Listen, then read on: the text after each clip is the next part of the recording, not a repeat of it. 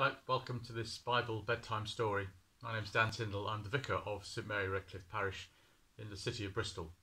This is a story from the Bible uh, read to you from the Bible, uh, the Book of Books, a, a kind of um, a version of the Bible uh, written by Trevor Dennis.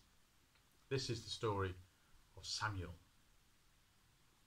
Shiloh was a holy place, and the tent of meeting was there, and the Ark of the Covenant was there too. But holy places need holy men and women if they are to shine with the holiness of God. The priests of Shiloh, Eli and his sons, were not holy men. His sons were just out for what they could get. They had no respect for God, nor for those who came to worship at the shrine, nor for the women they worked with. Eli was old and he'd lost his eyesight, and when he told his sons off, well, they just refused to listen. Eli himself felt out of touch with God and the people who came to Shiloh no longer found God there. No longer did he speak with them face to face, as he did with Moses, like one speaks to a friend. He seemed shut up in a silent and invisible heaven. Things had begun to change, however, when Hannah came to Shiloh to meet with God and found his generosity. She hadn't seen God nor heard his voice, for Eli had interrupted when he thought she was drunk. But she had poured out her soul to God, and he had filled her to the brim with joy by giving her a son. Then she had added her own generosity to God's. She had given her son, Samuel, back to God. So Samuel was at Shiloh, the living proof of the generosity of God and of the generosity of a remarkable woman. Samuel was still a young boy, and one night he lay asleep inside the temple near the ark. Samuel, Samuel! He had a voice speaking inside his head. He woke up. Here I am, he said.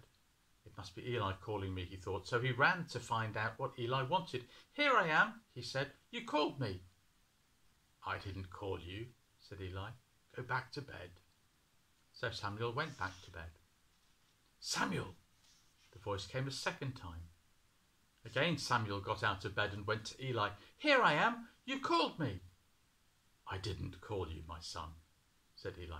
Go back to bed. Samuel! The voice came a third time, urgent and insisting. A third time Samuel got out of bed and went to Eli. Here I am. You called me. Really? You did? Suddenly Eli saw the truth. Strange voice must be the voice of God. He said to Samuel, Go and lie down, and if you hear the voice again, say, Speak, Lord for your servant is listening. Samuel went back and got into bed, and God came and stood beside him, saying, Samuel, Samuel!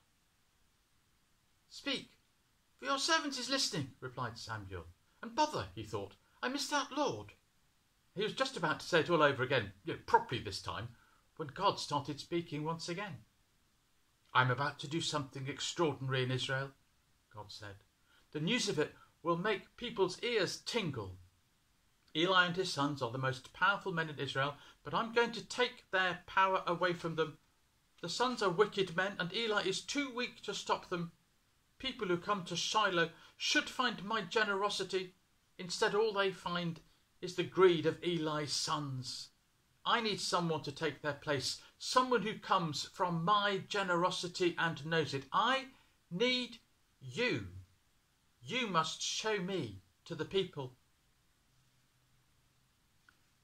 The silence of the night returned. The distant barking of a fox was the only sound to be heard, and the little boy lay on his bed, his eyes wide open, unable to say anything. He got no more sleep that night. In the morning he got up as usual and opened the doors of the house of God to let in the sun. What would he say to Eli? He hoped he wouldn't have to say anything at all. Then he heard a voice calling him, Samuel, my son. He recognized that voice at once. It was Eli's. He went over to Eli and said, Here I am. What did God say to you last night? asked Eli. Tell me. Tell me everything. So Samuel told Eli what God had said.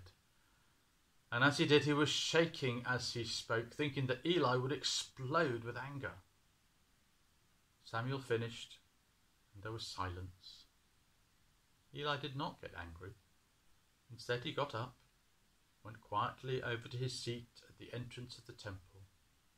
He watched the sun as it rose above the hills to the east, and said quietly, It is the Lord. It is God. Let him do whatever seems best to him.